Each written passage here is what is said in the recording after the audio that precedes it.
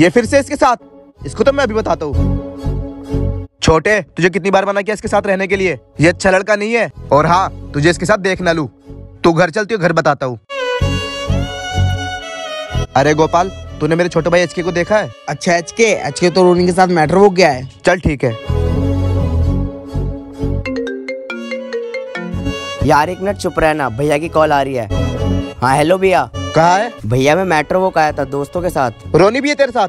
नहीं नहीं भैया रोनी मेरे साथ नहीं है। जब से आपने कहा ना रोनी अच्छा लड़का नहीं है मैं उसके साथ नहीं रहता। कसम से भैया। चल ठीक है घर टाइम से आई हो। ठीक है भैया।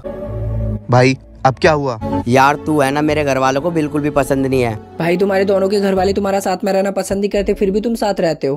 भाई दोस्ती वो रिश्ता है जो दिल से निभा ले वो फरिश्ता है। और वैसे भी सबसे खास दोस्त वही होता है, जिसके लिए तुम्हारे घर वाले ही बोले कि अगर इसके साथ रहेगा ना तो तेरी टांगे तोड़ देंगे।